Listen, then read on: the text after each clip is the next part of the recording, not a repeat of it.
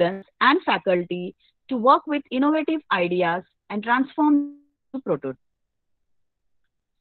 The institution's Innovation Council was constituted in Dhempe College in the year 2019.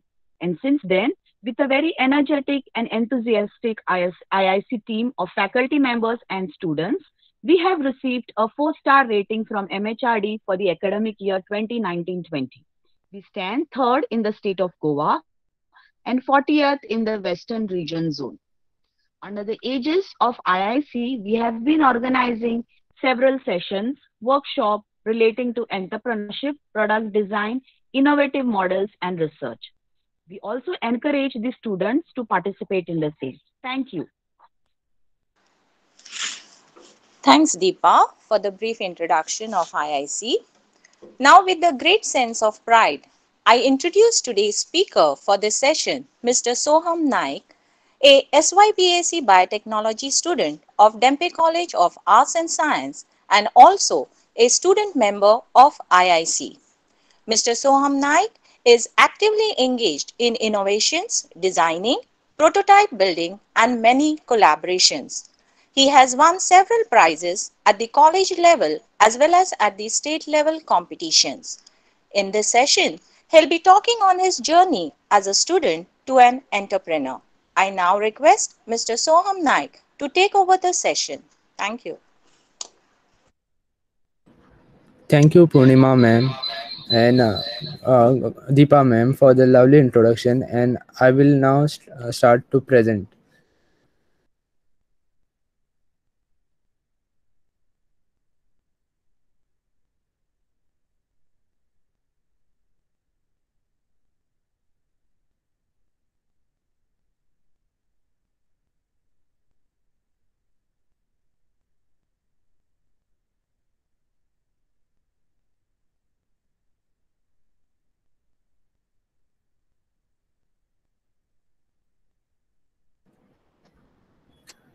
Uh, so now I'll start uh, talking about my story of innovation.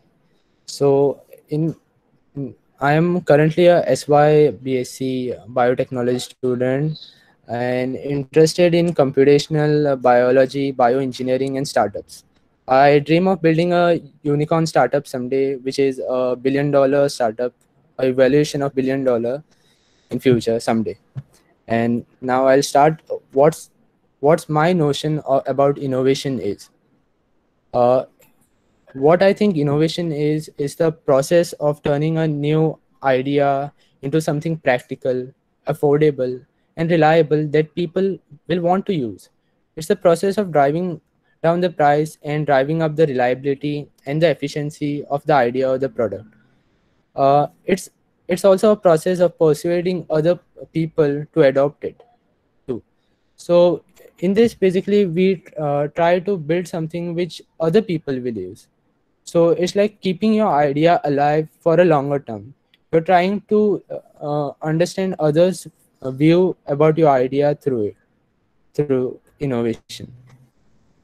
So first step of uh, building anything innovative or uh, trying to uh, build something is to try to find your niche niche is basically a comfort area area in which you are comfortable to do work in. But not uh, consider it uh, as a, a, comfort zone where you can just slack and uh, be uh, cool about it. It's like a area of your interest where you enjoy doing your work.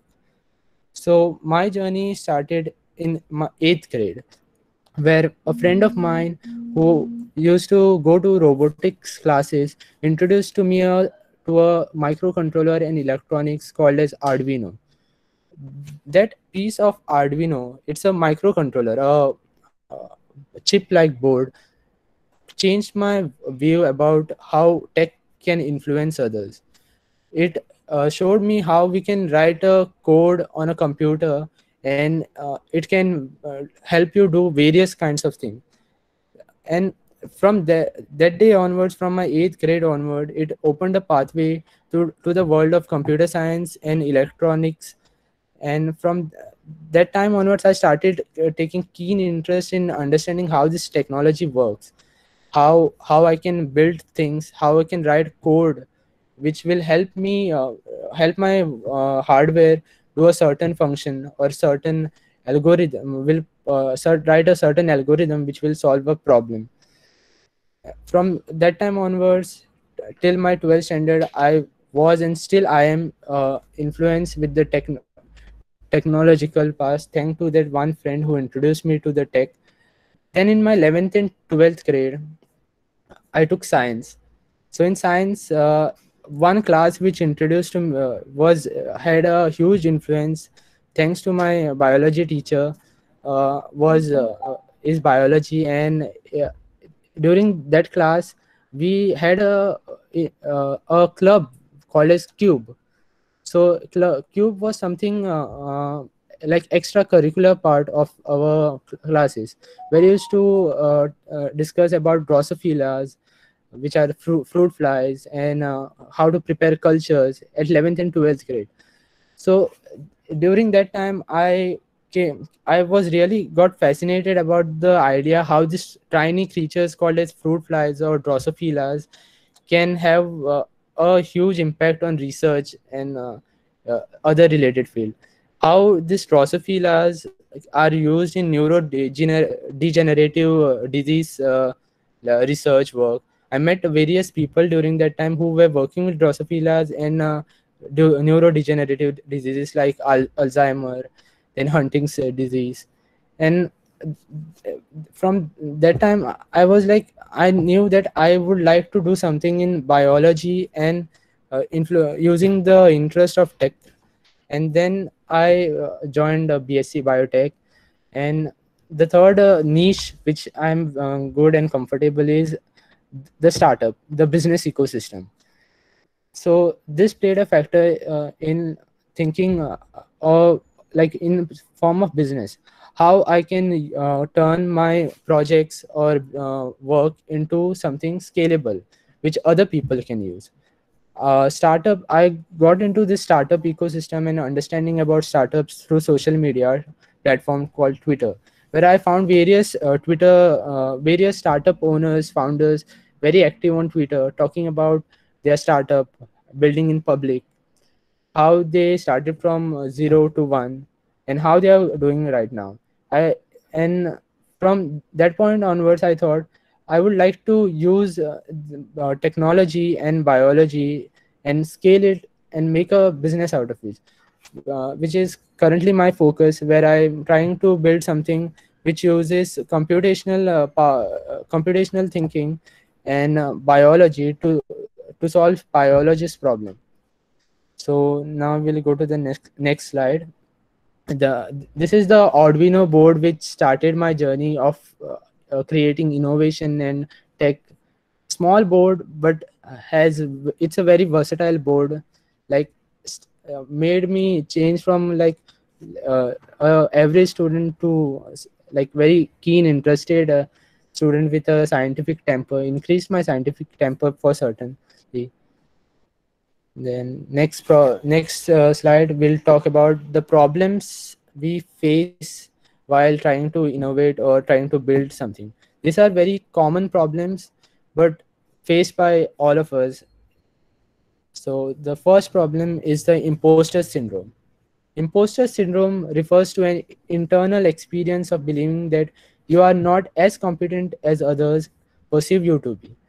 So i i face uh, imposter syndrome very uh, very much because i used to think i'm not as good as others which uh, led me to uh, not participate in certain competition which uh, led led me to not receive the feedback which i could have got on my projects or o- other opportunities which could i could have uh, landed upon at a very young age.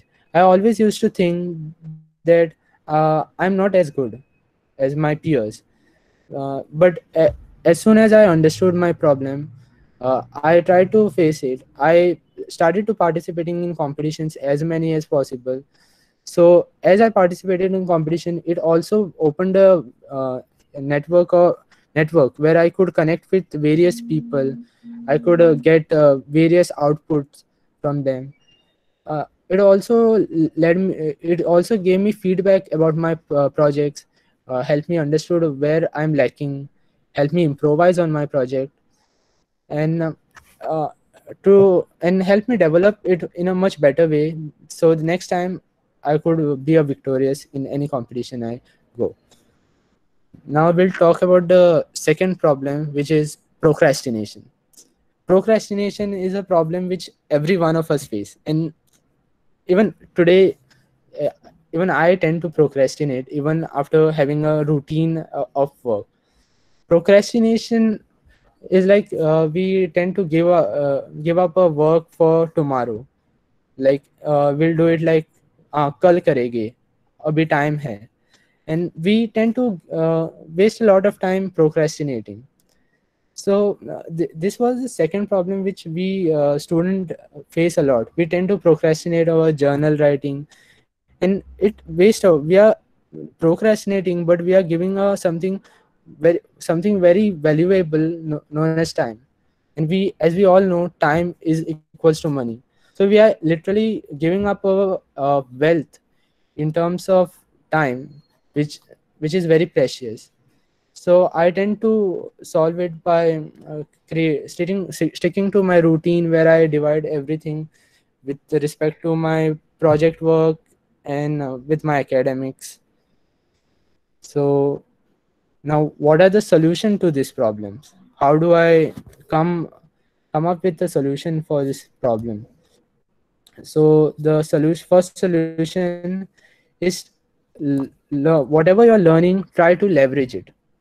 In any innovation process learning matters but trying to leverage what you have learned is important we accumulate knowledge in our whole academic life. But we uh, tend to give up on the opportunities where we can lev- leverage it. We learn so many theories but we never see them in working which is a downside. So in order to do this process try to gain as many uh, uh, try to get uh, into opportunities where you can leverage what you have learned so in uh, what i have tried to uh, leverage how my learning is in this life so i read about bioreactors and how they work. So during my first semester there was a workshop uh, technical hands-on workshop where we got to use the small scale bioreactors. So uh, during that time whatever i learned i got to uh, use it and see how it works how this bioreactor worked. And that's how i leveraged the uh, knowledge about bioreactors. The second uh, second picture the green color weird looking uh, petri plate is the uh, is a bacteria which uh, was not glowing but uh, I it was a theory of uh, molecular biology where uh, we talk about uh, taking a gene of glowing gene and putting it into a non uh, non glowing bacteria to make it glow so i went to IISER pune during my winter break uh, in first semester to know how how do you do this? Like how do you make this bacteria glow how do you take this gene from one thing and put it in another? And when I did this experiment, it was like I felt uh, it was a crazy thing to do such thing. Like it's not glowing, but now it's it has the ability to glow. Told uh, opened a uh, opened a uh, new possibilities of beliefs where I could think about various things about using such techniques. And the third picture, which is in clear, but it's a video. It it's about my two in 12th grade biology we had to come up with a project so in that project i worked on drosophila and uh, how in its uh, ability and its uh, and the effect of ultraviolet radiation and magnetic resonance. So i studied how drosophila reacts to uh, the uh, to uv lights and uh, magnetism how it goes. And that's how i uh, whatever i used to study uh, during extra sitting hours about drosophila and uh, other related things to drosophila was leveraged during this time uh, by working on a real project of drosophilas now the, this uh, solution is very cliche but yeah keeping a positive mindset really helps. We should trust in ourselves and our abilities. Because uh, we tend to uh, overweight the opinions of others that we aren't good which uh, tends to hinder our growth we should always keep a positive mindset towards ourselves our ability. We should trust our abilities. Writing a crappy code right now may, may be bad but we can always improvise. Making a mistake uh, in a practical is just a setback but you can always come uh, you can always uh, overcome those setbacks. You can always learn. There's always time to learn. And the, my next solution is uh, this is a very uh, uh, like thinking process which i use a lot whenever i try to build something. Uh, it's it's called first principle thinking. Uh, it's a problem solving technique that requires you to break down a complex problem into most uh, basic or foundational elements. So what the what it means can be explained nicely with elon's example and how he built the spacex the rocket uh, rocket company or startup. So the complex problem which elon faced was sending uh, rockets on mars. So the first step was to acquire a rocket. But buying a rocket for 65 million dollar was objectionable because it's a huge amount to pay. And what if we fail which he really did when he tried it for the first time so he turned to the first principle thinking method. So in this method he started to ask asking question and big he broke down the obtaining a rocket into fundamental questions like what is a rocket made up of? And the answer to that was aerospace uh, grade aluminum alloys titanium copper and carbon fiber. The next question he came across what is the value of this material in an open market?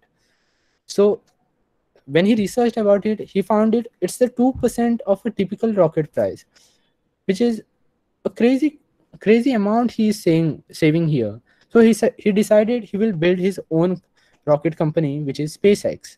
Now we can see spacex falcon rocket going into space and it's working with nasa right now which is really crazy because starting from a small thing now he's gone to a bigger projects similarly the second uh, way of thinking uh, the second example is the founder of buzzfeed. Buzzfeed is the social media platform which every teenagers we know about it. Uh, it's a platform uh, where uh, you find uh, various articles puzzles games uh, which uh, we teenagers like to play or go through it. Uh, so how uh, he wanted to build a platform for sto- stories and media content. But when he uh, thought about it it was uh, like a platform everyone else is making like medium or wordpress website. So when he broke down into uh, he, when he used first principle thinking he came about how do i do this? So during that process he came up with the idea of acquiring maximum uh, distrib- maximum distribution amongst uh, youth. So how he'll distribute it among youth? How will make uh, uh, small uh, small short uh, snippets uh, of uh, articles? And how will it be uh, go match with the attention span of the teenagers? He tried to understand the psychology and came up with buzzfeed which is booming right now in the social media field in terms of uh, entertainment and articles. uh, what what makes uh, in my opinion i use uh, uh, first principle thinking a lot. And what makes uh, this uh, method different than the normal way of thinking which we use is the analogical by making analogies. Analogies are beneficial but uh, the thing with analogies is we tend to use certain uh, certain ideologies which are already used. We try to compare with them and think about it. But when we use first principle thinking we tend to uh, clear the clutter and we try to go deep down and try to get the foundational elements which are uh, like to know the basic fundamental truth about some stuff. It's a very uh, um, uh, mentally heavy process but it's a good method because you tend to get know your knowledge gaps where you lack about it. And uh, it helps you to build something uh, build stuff from ground up.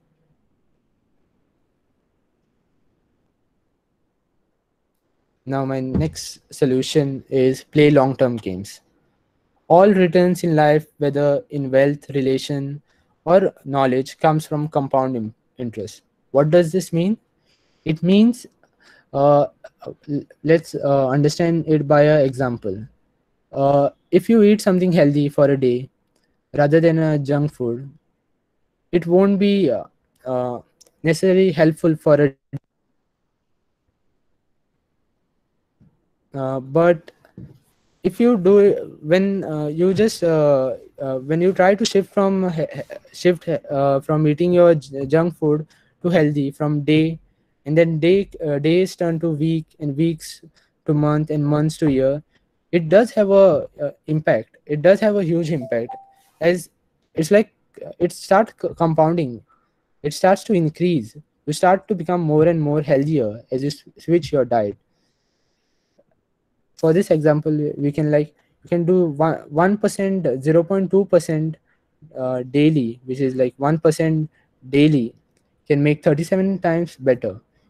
You can write um, you be, you may be in computer science you may be writing a code which is uh, okay right now. Can't do much uh, stuff.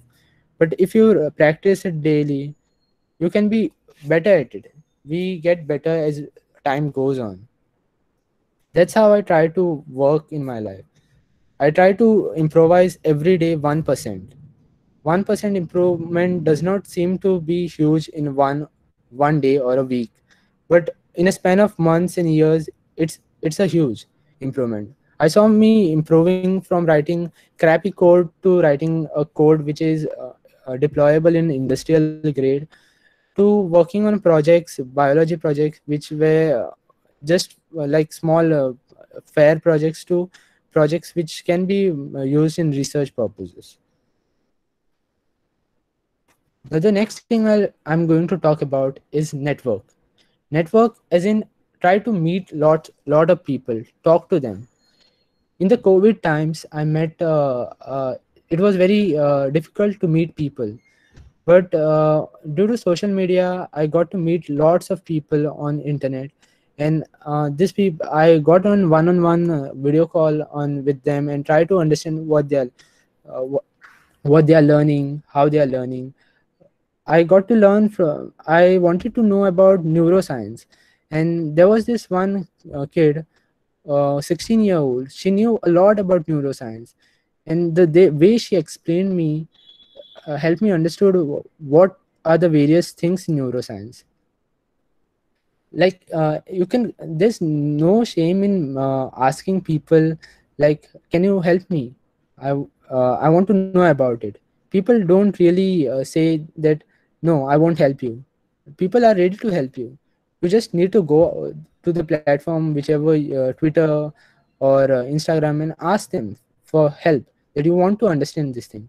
Try to meet as many people as you can uh, ask them questions. How did they do this?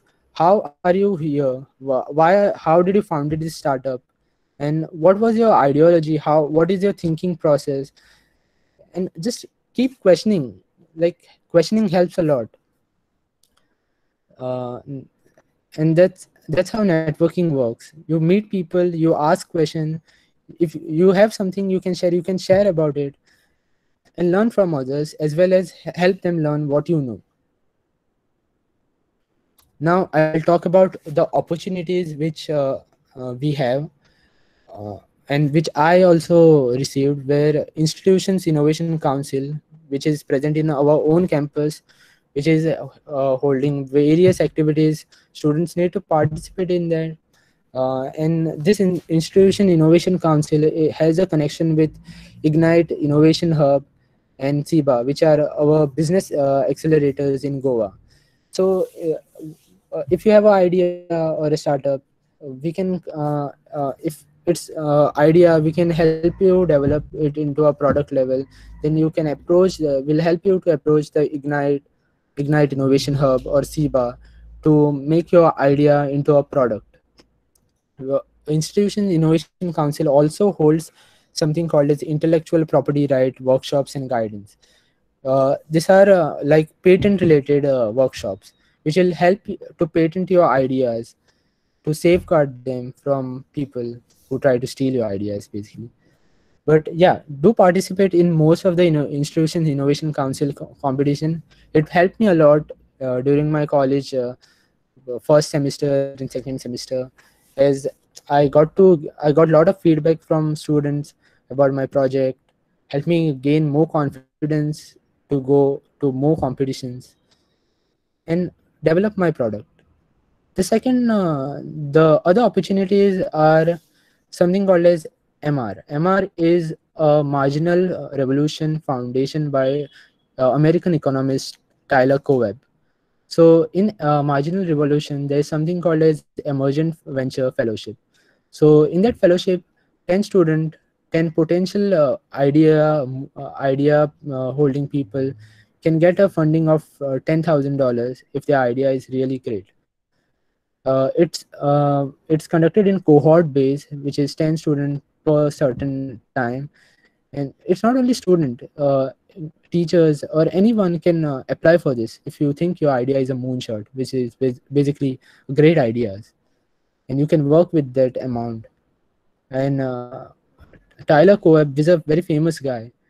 He's an american economist as well. He has a very great network of people in the startup field and the other communities. Uh, and the other one uh, is the on deck on deck are basically paid fellowships uh, they have various uh, fellowships which are non-science based like podcasting. Podcasting is the new thing which is going on right now. People are making podcasts daily and trying to share their knowledge acro- across various platforms like spotify anchor fm and they you, you should uh, do check out uh, on deck and uh, marginal revolution emergent ventures. On deck is for the people who like to talk write. Is the thing it's uh, it's a thing for them. And now i'll talk about my role model and the importance of having a role model. So i uh, my role model is elon musk. I look up to him a lot because he never give gives up. Like so many rocket launch failures spacex tesla building tesla solar city neuralink openai he never gave up. He just kept go- on going. He did not let those fears or fear of failures come come at him. He tried to fight them. He persevered through his journey. So a role model basically helps us to keep us uh, keep us uh, going or look up to. It's a person who can who you can learn who can idolize because it's very important. We get distracted a lot by a lot of people. And having a role model to maybe he's not helping you in person but his work really does help you. And uh, uh, here my here are my some impo- uh, achievements few achievements which i got. I got, in my 12th grade i got to be a part of all india cell biology conference uh, held at bits goa then uh, for an innovation fair uh, in my first semester a state level fair in innovation i got the second prize where i competed against engineering student and won uh, this was a competition for Dhempe innovators. Uh, then I got an opportunity to work in uh, IISER Pune biology lab, where I worked uh, on those gene uh, gene transfer techniques. And uh, in 2020 February, I I won Goa's youngest innovator title, and uh, I won a green business plan organized by Dhempe College, and many more. Uh, I would like to thank uh, Deepa ma'am, uh, Preeti ma'am, and uh, Purnima ma'am, and all the IIC members to giving me a platform to talk about my work and how I think how innovation process works as per me. I'll, I'll really like to thank you all, man. Thank you.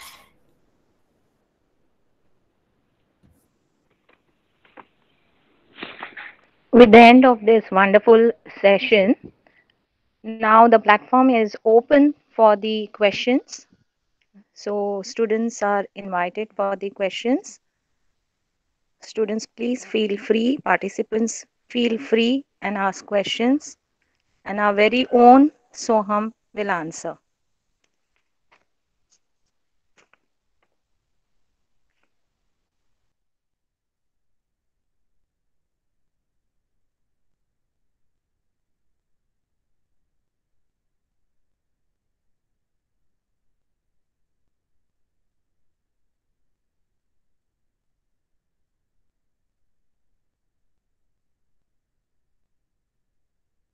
If there are any questions, I'm open for those questions. There is a question in the chat.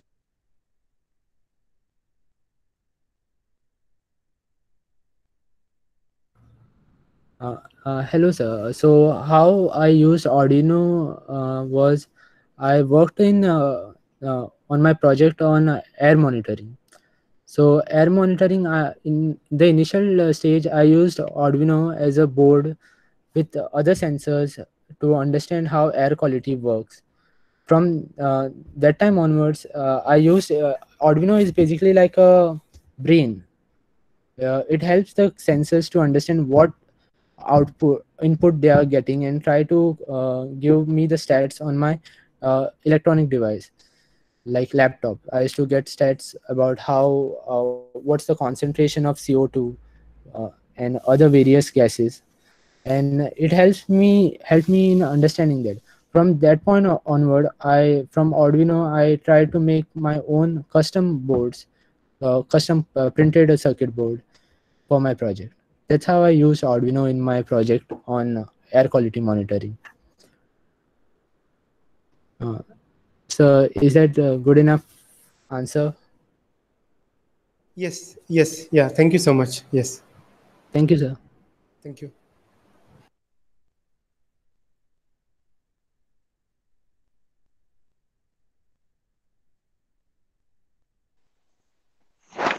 Any, any more questions are there? I'm still ready to answer if any.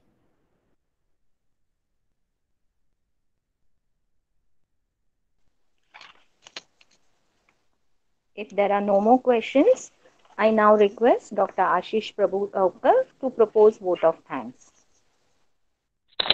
Thank you, ma'am. First of all, I'd like to congratulate Mr. Soham Naik for his endeavor uh, in uh, starting his entrepreneurship life at such a early age, uh, which will uh, definitely help him to go a long way in his life. And thank you for putting your experiences in such a wonderful presentation form and delivering it in a, such a nice way so that we can learn from it. We got very wonderful insight in his journey to be an entrepreneur, uh, and from which we can learn. Definitely, we can learn a lot of things. Uh, we wish him also uh, uh, all the very best for his future journey. Uh, next, I'd like to thank Ms. Deepa Audi and Institute Innovation Council at uh, uh, Dhempe College for providing this platform for us to interact. I'd also like to thank Dhempe College, Principal Dhempe College for all the facilities and support. I'd like to thank MHRD for launching this Institute Innovation Council. I thank Dr. Purnima Gadi for all the work behind organizing this seminar.